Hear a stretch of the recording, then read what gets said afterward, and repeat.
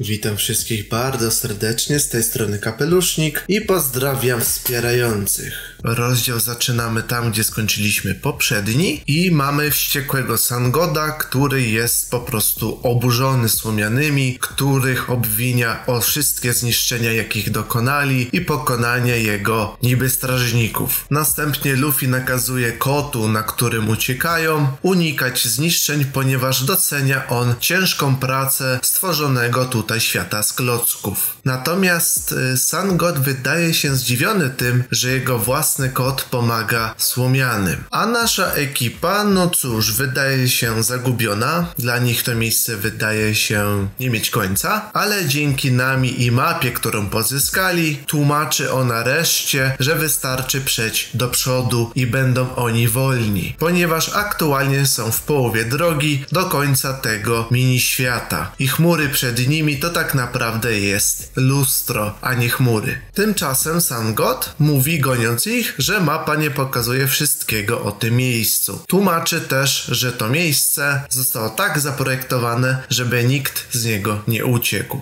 I przy okazji łapie naszych w siatkę na motyle, ale nasi się szybko wydostają. A Sangod kwituje to, że to nic nie da. W międzyczasie mieszkańcy tego mini świata mówią do swojego boga, że znaleźli szkielet boga ucha, tego królika, który Luffy zjadł. A przy okazji zwrócili mu uwagę na pęknięcie na niebie. A sam Sangod, no cóż, wpadł w dziwny zachwyt, komentując sytuację, że jego własny świat czy uniwersum doczekało się samoistnie tworzącej się historii. I to jest piękne, a to wszystko należy do niego. Co ciekawe, jakieś randomy zwróciły uwagę między sobą na zniszczenia i że to jest szansa dla nich na ucieczkę. Do tego jeszcze wrócimy w przemyśleniach. Tymczasem Słomiani zastanawiają się, z czego samozwańczy Sangot się śmieje, natomiast on sam jest ciekawy, co Słomianie jeszcze pokażą, wspominając o Hajrudinie. Ale w tym momencie Usopp zaatakował drugą stronę klatki, ale rozbił tylko lustro. Ściana okazała się dla niego zbyt mocna. A sam God rozpoczął kolejny monolog, który skończył tym, że cieszy się z przybycia Słomianych do jego świata. Co dziwne, dla mnie to nami się dziwi, że on zna ich imiona. Halo, jesteście załogą Imperatora, macie już globalną sławę. No ale,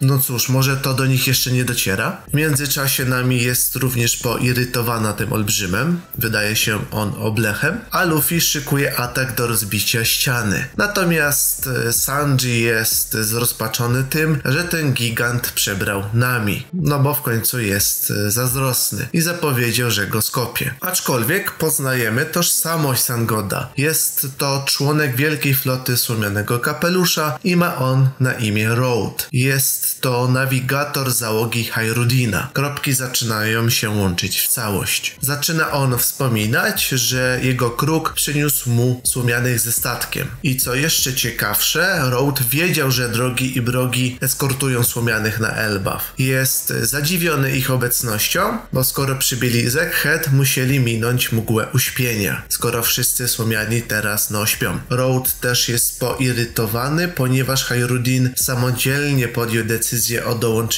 do wielkiej floty Luffy'ego. Road twierdzi, że giganci nie powinni służyć małym ludziom. Następnie zdaje się ich przebrał, czego oczywiście najbardziej był podjarany nami i wrzucił ich wszystkich do swojego małego świata. Wracamy do teraźniejszości i Road mówi do słomianych, by tu zostali i mu służyli, bo i tak nie wiedzą gdzie są. Jednakże nami przy pomocy Zeusa zaatakowała go piorunem. I Luffy pomimo niechęci do niszczenia tego miejsca używa ataku, by rozbić ścianę, a słomiani są wolni. I tym kończymy rozdział. Ocena to takie 5 na 10. Te nowe rozdziały są po prostu nudne, one nie są złe. Po prostu jesteśmy przyzwyczajeni do tego, że końcówka Egghead i rozdziały przed Elba były wypełnione szeregiem plot twistów fabuła musi się na nowo rozkręcić po prostu. Pozytyw jest taki, że przynajmniej tempo obecnych wydarzeń jest wysokie.